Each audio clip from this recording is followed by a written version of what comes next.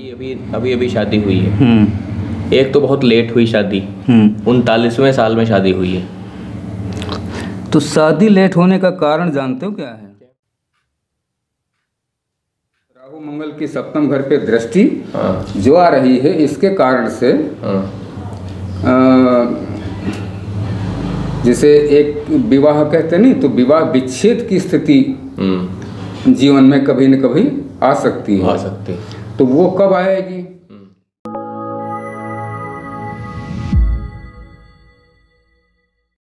ये कुंडली जो है हम्म। ये है कैटरीना कैफ की। हम्म। इनकी अभी अभी शादी हुई है। हम्म विकी कौशल के साथ। एक्ट्रेस हैं ये बॉलीवुड की। बॉलीवुड की एक्ट्रेस। बहुत सारे कमेंट करके लोग कह रहे थे कैटरीना कैफ की कुंडली पढ़ी कैटरीना कैफ हैं। हम्म, ये कर्क लग्न है और कन्या राशि है।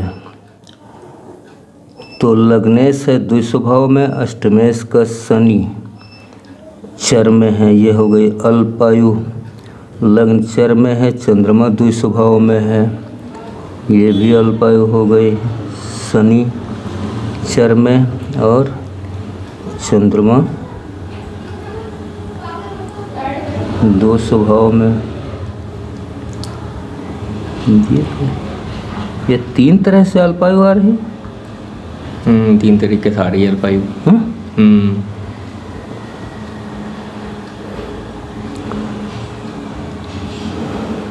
लेकिन लग्नेश तीसरे घर में बैठा है। हाँ, है तो ये नीचा अभिलाषी। हम्म, वृश्चिक इसकी नीच राशि है कन्या में बैठा है। अ, लेकिन फिर भी बलवान है। ठीक है। तो और गुरु की नवी दृष्टि लग्न पे आ रही उच्च की। हम्म, हम्म। हाँ, गुरु भाग्य से और खष्ठेश है हाँ, और लग्न में बुद्ध बैठा हुआ है। इस हिसाब से तो आयु का कालखंड एक बढ़ जाएगा। हम्म, हम्म। हम्म, मध्य आयु की कुंडली हम्म, ये है। हम्म, ठीक है। तो आयु ठीक है? हम्म, अब इसमें राजयोग देख ले जाए। हाँ राजयोग देखिए जरा तो लग्नेश चंद्रमा तीसरे घर में है ये कोई राजयोग नहीं देगा। पंचमेश का मंगल बारहवें घर में ये भी कोई राजयोग नहीं देगा।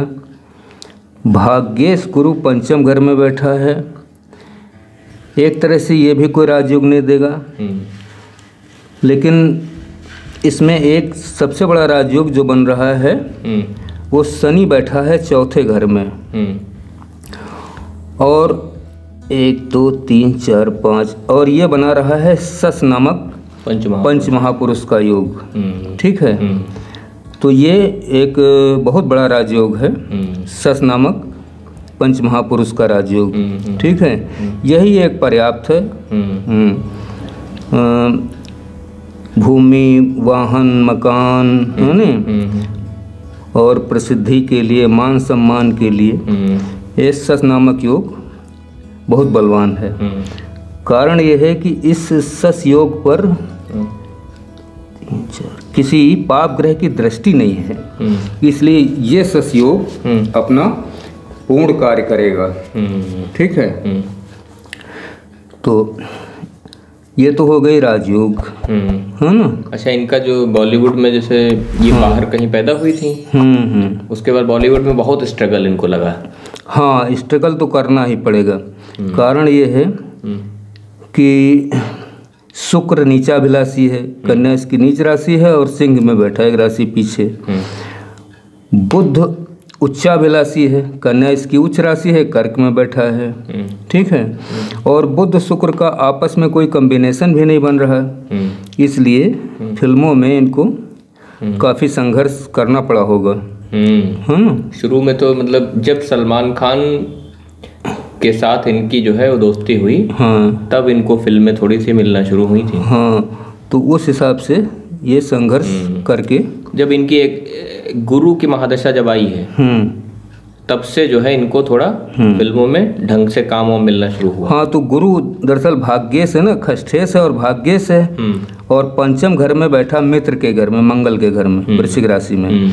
और लग्न को उच्च दृष्टि से देख रहा है। हम्म। ठीक है? भाग्य भाव को देख रहा है पांचवी दृष्टि से लग्न को नवी दृष्टि से देख रहा है उच्च की दृष्टि से। ठीक? हम्म।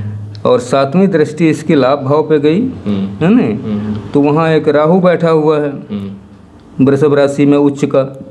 हम्म? हम्म तो ये दो दृष्टियाँ गुरु की हम्म। हम्म, इनके लिए काम करेंगी। हम्म। और इस कारण से गुरु की महादशा तो हम्म। ठीक होगी। हम्म। हम्म, कायदे से। अब खत्म होने वाली है। अच्छा। अभी इस समय चल रहा है गुरु में बुद्ध।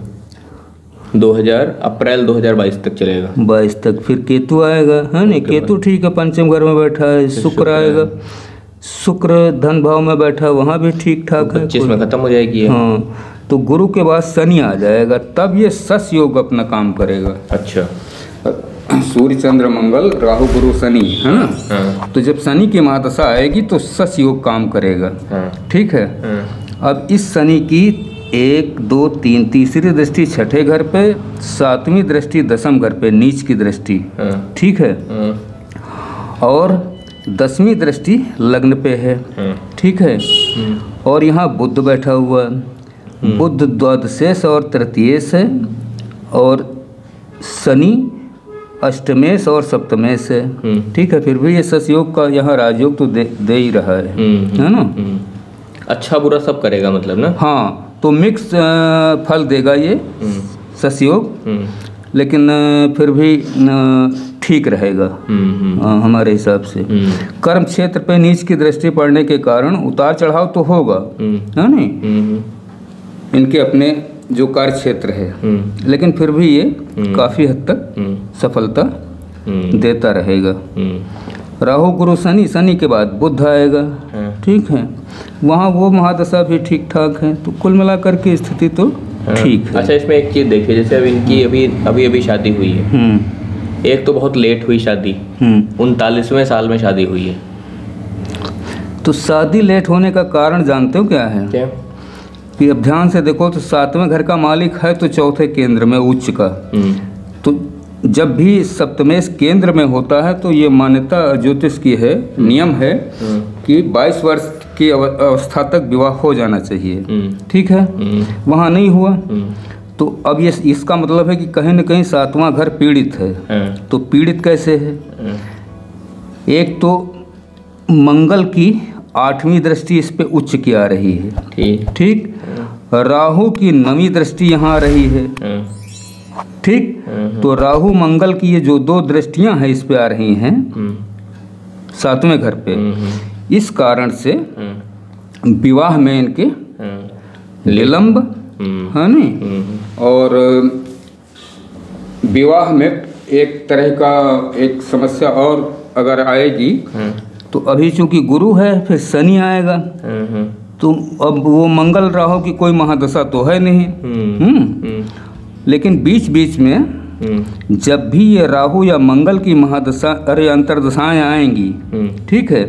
तो उसमें वैवाहिक संबंधों को लेकर के थोड़ी हम्म, परेशानी? परेशानी होगी। है ना, हम्म, रहेगी। हम्म, और बाकी ठीक है। हम्म, हाँ बाकी वैवाहिक जीवन ठीक ठाक है। वहाँ पे कोई ऐसी चीज़ नहीं है। हमारे हिसाब से। बस वही राहु की जो सप्तम दृष्टि है। हाँ नवी। राहु की नवी दृष्टि और मंगल की आठवीं दृष्टि। ये दो दृष्टियाँ सप्तम भाव है ना सप्तम भाव को कहीं न कहीं पर हानि कर रही हैं। तो इसी कारण अच्छा ये राहु मंगल की सातवीं दृष्टि अरे राहु मंगल की सप्तम घर पे दृष्टि हाँ, जो आ रही है इसके कारण से हाँ, अ, जैसे एक विवाह कहते नहीं तो विवाह विच्छेद की स्थिति हम्म, जीवन में कभी न कभी आ सकती है। आ है। तो वो कब आएगी? हम्म, जब राहु की अंतरदशा मिले या मंगल की अंतरदशा मिले। अच्छा। चूँकि महादशा इनको मिलेगी नहीं राहु मंगल की। है ना अंतर ही मिलेगा। हाँ। गुरु गुरु के बाद शनि की महादशा आ जाएगी शनि के बाद तब राहु की महादशा आएगी। हम्म, तो राहु की महादशा में हम्म, है नहीं? आ, ये इसकी संभावना बनेगी। तो राहु महादशा तक तो तो हाँ वो बहुत पीछे की बात है ही नहीं कहीं। हाँ बहुत आगे ये है कि शनि की जब अभी महादशा आएगी हाँ। तो शनि में राहु का जब अंतर प्रत्यंतर आएगा हाँ। तब समस्या आ राहु या मंगल का अंतर प्रत्यंतर में समस्या जब अंतर आएगा तो वैवाहिक संबंधों में थोड़ी समस्या समस्या आई। आ सकती है। हम्म, हम्म, बाकी और संतान भाव पीड़ित है। संतान भाव। हाँ। कारण ये है कि यहाँ गुरु बैठा है ठीक है? हम्म, हम्म, गुरु नीचाभिलाषी है। मकर इसकी नीच राशि है और वृश्चिक में बैठा है। हम्म, दो राशि पीछे। केतु साथ में लग गया। राहु की दृष्टि आ गई यहाँ पे। हम्म, ठीक है? तो इस कारण से संतान में और बा- ये पंचमेश मंगल बारहवें घर में चला गया वो भी सूर्य के साथ है। हम्म, ठीक है? ये संतान में हम्म, समस्या पैदा करेगा। अच्छा। तो संतान में समस्या अ, संतान में देरी देरी। हाँ। तो इसी वजह से तो नहीं शादी में देरी हो रही क्योंकि हाँ। संतान भाव बिगड़ा हुआ है। बिगड़ा हुआ है। अच्छा। तो संतान में देरी होना हाँ। है नहीं? और बहुत ही कम संख्या में संतान होना। हम्म, एक ही एक या दो संतानों से अधिक संतानें हम्म, नहीं होंगी। हम्म, हाँ? हम्म, इस कुंडली के अनुसार। हम्म, तो ये है स्थिति इसमें। हम्म, हम्म। और संतान हानि भी दिखाता है। अच्छा। हाँ। कहीं न कहीं एकाध संतान हाँ। एवार्ड अबॉर्ट हो जाए हाँ एवार्ड हो जाएगी एवार्सन हो जाएगा। तो उस तरह की स्थिति भी है। हम्म, हम्म, क्योंकि पंचम भाव हम्म, पे पीड़ा है तो इसके कारण ये स्थिति आ सकती है। हम्म, हम्म, तो अल्प संतान की स्थिति दिखाता है कम संतानों की है ना? एक ही संतान या दो संतानें हो सकती हैं। हाँ, तो ये तो यहाँ पे हाँ, कुंडली ठीक है। और बाकी हमारे हिसाब से अच्छा धनेश सूर्य बारहवें घर में बैठा है। हाँ, ठीक हाँ, ये क्या करेगा? ये मंगल के साथ बैठा दसमेश के साथ। हम्म, हम्म?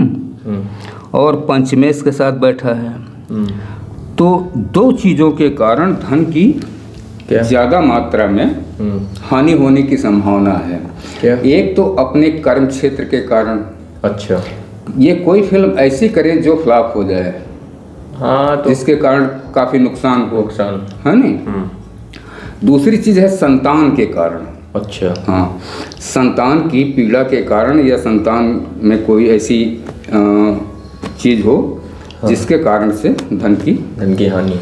धन की हानि हम्म, हम्म, होगी। हम्म, ये स्थिति है। बाकी दसमेश बारहवें घर में मंगल बैठा है। है। तो नीचा विलासी कर किसकी नीच राशि है? हम्म, लेकिन ये बाहरी संबंधों से हम्म, है नहीं? ये स्थिति दिखाता है। हम्म। तो विदेश यात्रा तो ये लोग करते ही रहते हैं। विदेश यात्रा करते हैं। वो तो विदेश से यहाँ आके बस गई। एक चीज़ इसमें और है। क्या? कि अब ये पता नहीं है मुझे कि इन्होंने कहीं किसी विदेशी सीरियल में या फ़िल्मों में काम किया नहीं किया है। लेकिन ये विदेशी सीरियल हाँ। है ना हाँ। या फ़िल्मों में हाँ। ने इनको कार्य हम्म। मिलने की संभावना इस जन्म कुंडली के अनुसार दिखती है। अच्छा वो देखिए ये बहुत बड़ा कारक बनता है। हम्म। तो राहु की अगर सातवें घर पर दृष्टि आ रही है साथ में मंगल की भी आ रही है हम्म हम्म, तो वो अंतर जातीय विवाह की स्थिति बनती है। बनती तो उससे कोई इतना फ़र्क नहीं पड़ता। तो कुल मिला के ठीक है कुंडली हाँ कुंडली हमारे हिसाब से तो और बहुत बड़े ऐसे राजयोग नहीं है कुंडली हाँ। में है ना? हाँ। और वैसे भी उनकी लाइफ जब आप देखेंगे ना हाँ। तो वैसे है भी नहीं कि कोई बहुत बड़ी उपलब्धि हो इनके पास में। हाँ कोई ऐसी चीज़ नहीं है। नॉर्मल सी उपलब्धि है कोई बहुत बड़ी एक्ट्रेस भी नहीं थी बॉलीवुड की कि इनके पास कोई क्राफ्ट बहुत अच्छी हो आर्ट बहुत अच्छी हो। तो डांस अच्छा कर लेती थी इस वजह से। तो हमारे हिसाब से हम्म, बाकी ये ठीक है ना। हाँ बाकी ठीक है है।